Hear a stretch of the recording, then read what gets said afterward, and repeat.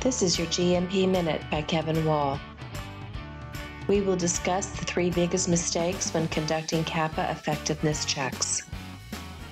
Number one, not ensuring the effectiveness check is specific to the root causes. Each root cause should have its own effectiveness check, otherwise, you cannot document the problem has been solved.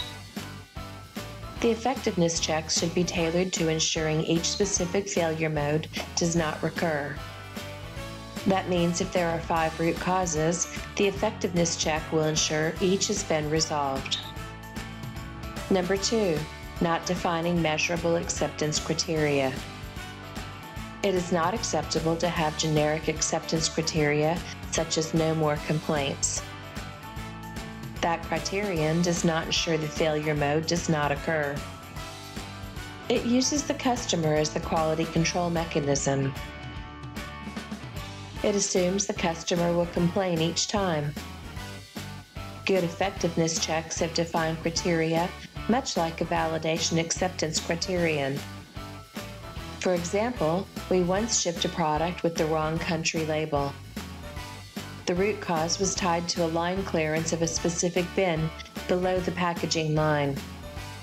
The effectiveness check was twofold we ensured the new line clearance form was being completed and second signed appropriately. Zero failures were tolerated. Secondly, we defined a number of independent QA random inspections of the line to ensure compliance. Number three, not having significant time for the failure to manifest itself. And not a proponent of standard timeframes. If the root cause is manufacturing process related, determine the number of lots and batches that shifts run in a given time frame. If the process is 24-7, the two weeks may be enough. If the process is run intermittently, then six months or more may be appropriate. Try to get a statistically meaningful number of iterations. You need to document the rationale for why the time frame was chosen. In the above example, the problem could occur on three packaging lines run on three shifts. The effectiveness check covered each of the three lines and three shifts. We wanted to ensure new habits were formed before the effectiveness check was started. Line leads and shift supervisors ran the new process for two weeks. We did not rely on simply training a new procedure.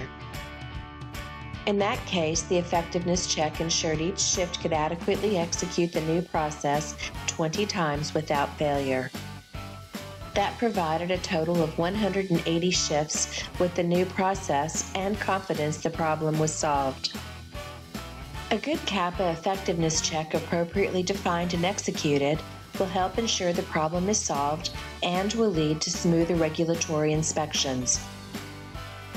Subscribe to our channel so you don't miss a GMP Minute.